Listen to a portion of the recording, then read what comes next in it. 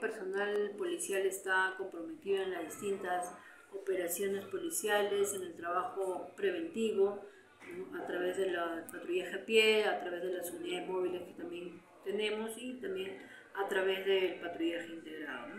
Precisamente eso nos ha permitido también poder intervenir a personas requisitoriadas, a personas que han estado cometiendo eh, delitos, en este caso también eh, el día de ayer hemos tenido tres intervenidos por eh, presunto delito de conducción de estabilidad, hemos tenido dos detenidos por la presunción del delito de usurpación y un detenido por el delito de violencia familiar.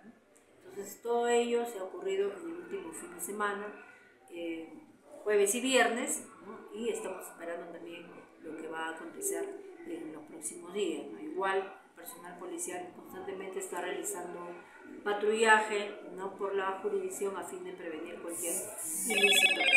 En, las, este, en el famoso Barranquito, tranquilo por el momento.